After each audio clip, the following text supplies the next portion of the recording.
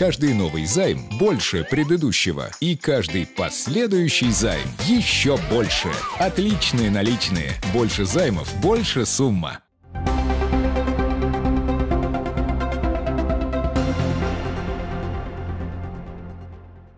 С 12 февраля рекомендовано введение ограничительных мер в отдельных населенных пунктах республики. В связи с превышением эпидпорога заболеваемости гриппом и ОРВИ главным государственным санитарным врачом Тувы предложено ввести ограничительные меры на посещение школьных занятий на 7 дней с 12 февраля в селах Кызыл-Мажалык и Шекпер Барунхемчикского района, Баян-Тала, Бажин-Алак, город Чадан Дзунхемчикского района, Тели, Шуй, Кызылдак, Байтайгинского, Чахоль, Чахольского, в поселке поселки Каахем Кызыльского, Хандагайты Авюрского и Байхак Тандинского района и в городах Кызыл и Агдавурак. Рекомендации по введению ограничительных мер даны исходя из результатов анализа эпидемиологической ситуации по территориям. Соответствующие распоряжения глав районных администраций должны быть направлены в адрес управления Роспотребнадзора Тувы. Получать деньги из материнского капитала можно будет в два раза быстрее. Принимать решение о том, выдавать семье сертификат на материнский капитал или не выдавать, Пенсионный фонд России будет не месяц, как раньше, а 15 дней, сообщает российская газета. Это произойдет после принятия законопроекта на эту тему. Пока он размещен на федеральном портале проектов нормативных правовых актов для общественного обсуждения. Однако есть направления, по которым воспользоваться мат-капиталом можно сразу после получения сертификата не дожидаясь истечения трехлетнего периода. Например, если у семьи есть ипотечный кредит или она планирует его оформить, полностью или частично погасить его с помощью мат-капитала или направить на первоначальный взнос можно сразу. А вот если семья планирует улучшить жилищные условия без привлечения ипотеки, надо ждать три года. Также сразу деньги можно направить на реабилитацию ребенка с ограниченными возможностями здоровья и на дошкольное образование. Да и на денежную выплату, пособие пособия на второго ребенка и средств мат-капитала тоже можно претендовать сразу после получения сертификата, что очень важно для семей с нестабильным материальным положением.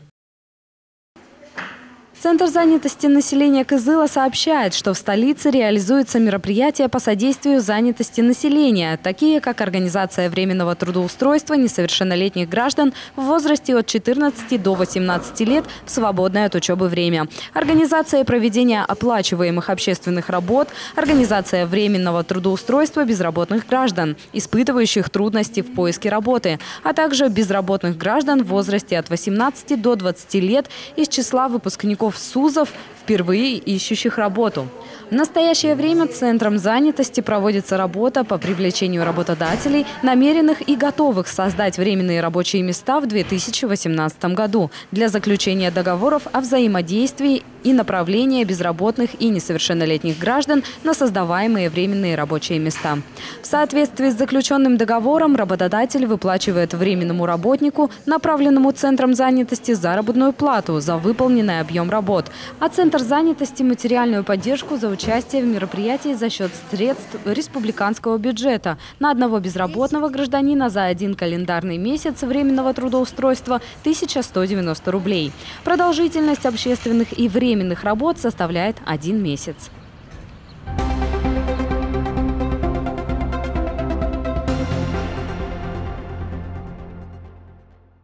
Минприроды России увеличила штрафы за браконьерство. Накануне вступил в силу приказ Минприроды России о внесении изменений к методике исчисления вреда, причиненного охотничьим ресурсам.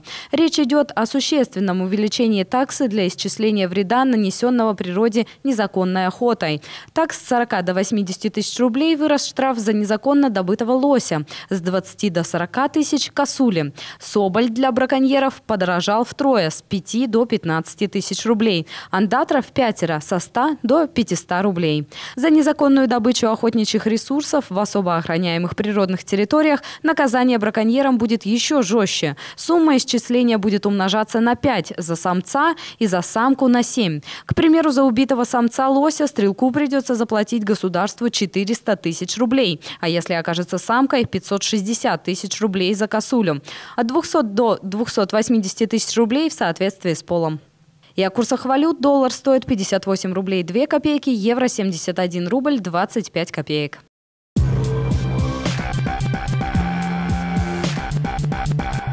Еженедельник Тува ТВ и такси Апельсин объявляют новый фотоконкурс. Такси заказывали – Прими участие. Закажи такси «Апельсин», сделай оригинальное фото, в кадр которого попадет автомобиль и логотип апельсина. Придумай креативную подпись и получи возможность выиграть главный приз – 5000 рублей на поездки. Мы ждем ваши фотографии на электронную почту n.vec17собакамайл.ру. Срок приема фотографий с 31 января по 21 марта 2018 года. Подробности читайте в еженедельнике Тува ТВ. Справки по телефону 23 323. Организатор конкурса ООО «Инфо ТВ».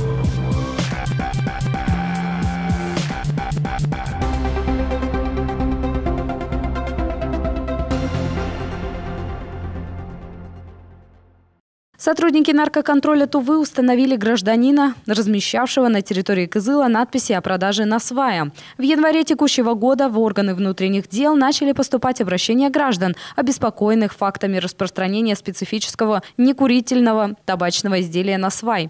Внимание кызылчан привлекли надписи с указанием номера сотового телефона на стенах и заборах домов и зданий Кызыла, нанесенные баллонной краской. В ходе проверенных оперативно-розыскных мероприятий сотрудники Сотрудники полиции установили личность автора надписи, которым оказался безработный 23-летний уроженец села Болгазан. Сотрудники наркоконтроля выяснили, что молодой человек в действительности намеревался сбыть 100 пакетов Насфая, которые он приобрел у малознакомого в Красноярске. Реализовать свой умысел гражданин не успел, так как был задержан сотрудниками полиции.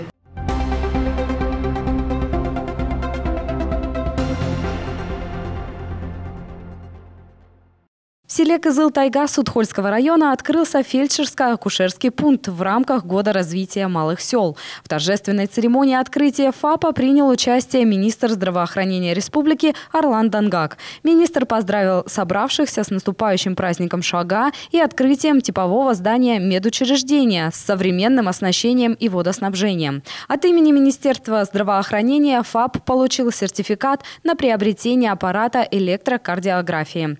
От администрации администрации Судхольского района фельдшерско-акушерский пункт получил бензогенератор, что актуально в условиях села.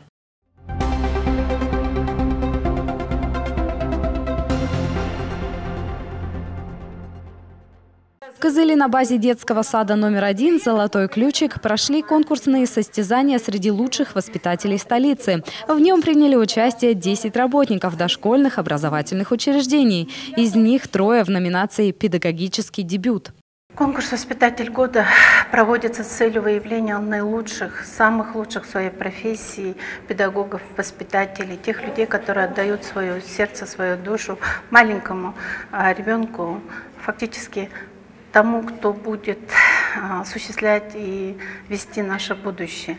Одним из этапов конкурса стал открытый диалог участников с членами жюри на тему самых распространенных ситуаций, возникающих в детских садах. Например, воспитатели на своем личном примере рассказали, как приучить ребенка есть невкусные, по мнению детей, каши или же как раскрыть таланты у дошколят. В своей э, практике работы, например, я создаю ситуацию такую приглашаю детей в музыкальный зал и объявляю, что у нас начинается концерт. И дети, э, даю возможность детям составить своим концертную программу. И тут ты начинаешь понимать, что оказывается тот мальчик, который все время не сидит на месте, бегает из угла в угол, настоящий клоун. И, соответственно, и меняется отношение педагога к этому ребенку и его сверстников, потому что он же размешил и меня, и всех остальных детей. Кроме жюри, конкурсантам могли задать вопросы и все желающие, которые в свою очередь интересовались, как воспитатели справляются с гиперактивными детьми. Можно привлечь, любого ребенка можно привлечь какой-то игровой ситуации. Я думаю, что все дети, дети, они дети, они заинтересуются.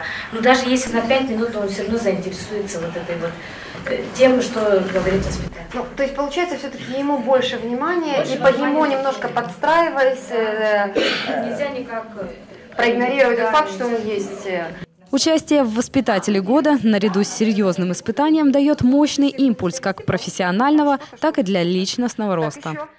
Так же, как отмечают участники, конкурс дает возможность посмотреть на других и себя показать, почерпнуть полезный опыт и открыть новые педагогические находки, потренировать свои способности в работе, а также дает уверенность в выступлениях на публике. Ведь этот конкурс – своеобразная ступенька вверх по лестнице саморазвития.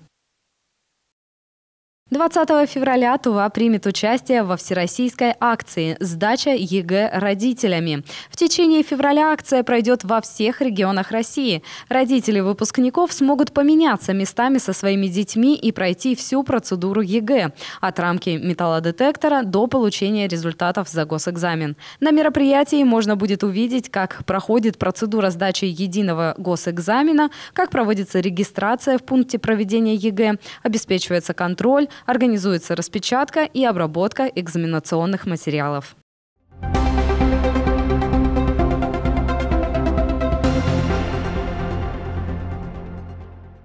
Студия цветов «Калибри» по адресам Красноармейская, 209 и Ленина, 24 объявила потрясающую акцию. Какую? Все подробности далее.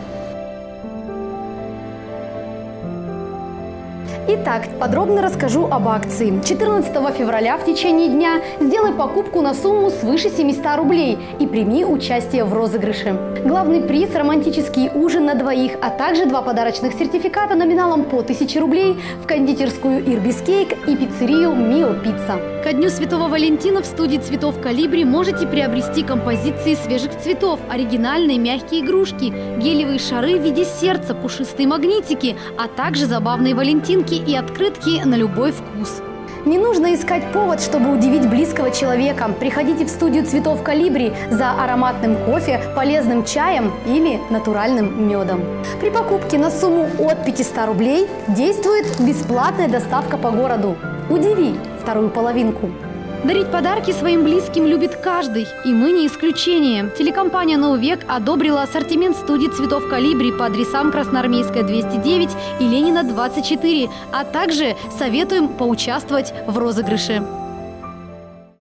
Радиостанция «Голос Азии» запустила новый сезон радиоквеста «Замес майонез». Теперь участники квеста будут сражаться в смекалке за подарки от магазина «Химтоп» на юнокурседе 103-1.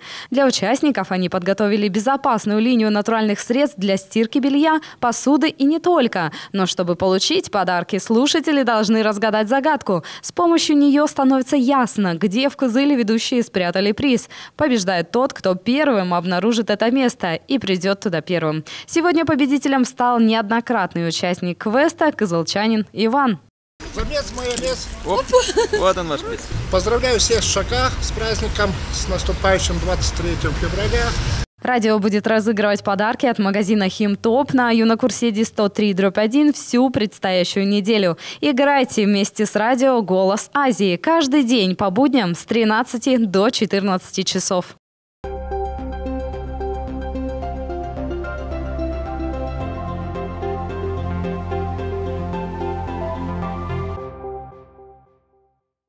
В ближайшие сутки по республике переменная облачность, местами небольшой снег. В Кызыле переменная облачность без осадков. Ночью минус 24-26 градусов, днем минус 13-15 градусов. Ночью и утром местами туман. На дорогах гололедица.